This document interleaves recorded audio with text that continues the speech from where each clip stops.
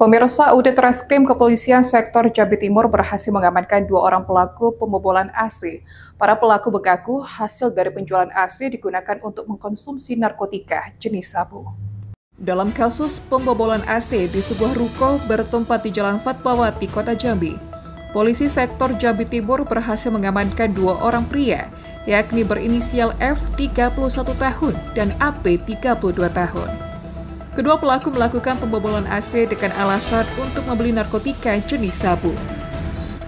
Kapolsek Jambi Timur AKP Edi Marti pada Senin 25 November 2024 menyampaikan, berawal dari laporan masyarakat, laporan polisi nomor B74 tanggal 24 November 2024 terkait kasus tindak pidana pencurian. Pihak kepolisian sektor Jambi Timur, unit reskrim pun segera melakukan penyelidikan Dibantu dengan hasil CCTV, polisi pun berhasil mengamankan dua orang pelaku.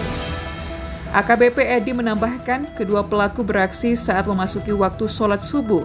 Mereka menjual AC tersebut dengan harga Rp170.000 dan menggunakan uang hasil penjualan AC untuk membeli sabu di Pulau Pandan. Baik, terima kasih.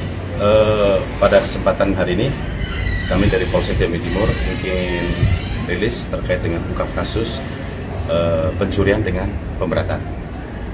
Untuk berawal dari adanya laporan dari masyarakat, itu laporan polisi nomor B74 tanggal 24 Oktober tahun 2024 terkait dengan dugaan ataupun laporan adanya tidak pidana pencurian.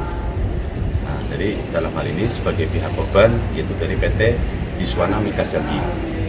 Nah, atas laporan tersebut yaitu eh, si pelapor melaporkan bahwasanya kehilangan satu unit AC AC uh, yang terpasang di kantor di Jalan Fatmawati nomor 14 Kelurahan Kasang Kecamatan Jambi Timur Provinsi Jambi.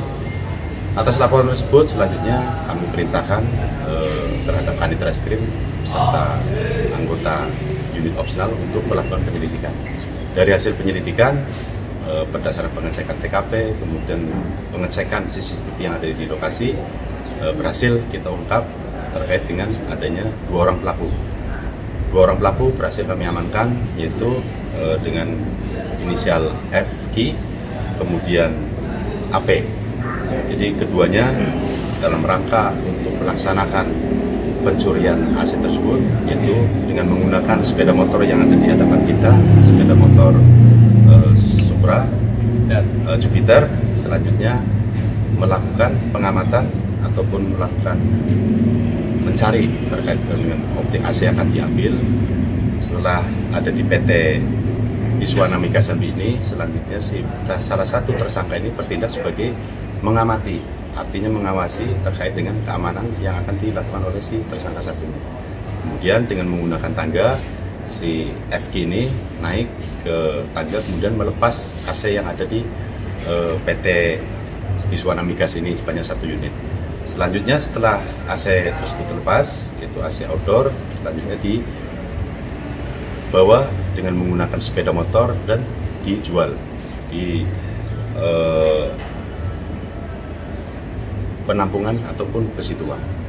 Nah, jadi dari 480-nya masih kami lakukan pengembangan dari hasil penyelidikan.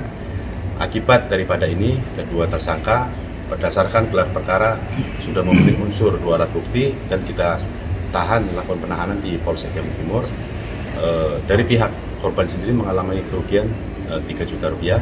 Selanjutnya kedua tersangka kita jerat dengan pasal 363 ayat 2 KUH pidana dengan ancaman hukuman 9 tahun. Itu saja rekan-rekan.